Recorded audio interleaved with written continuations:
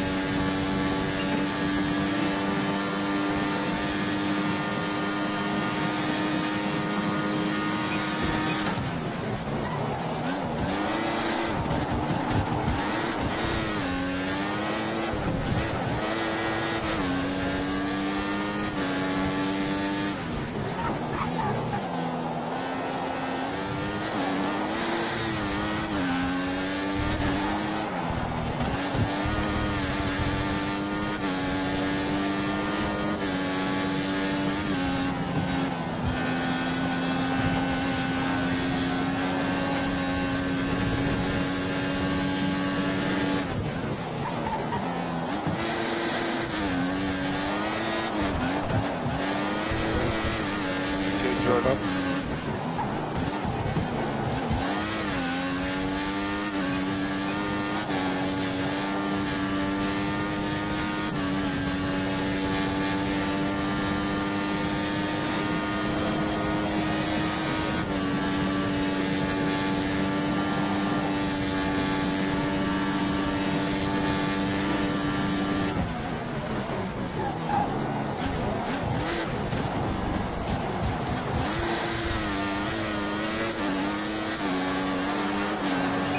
Currently the fastest person on the track, pole position.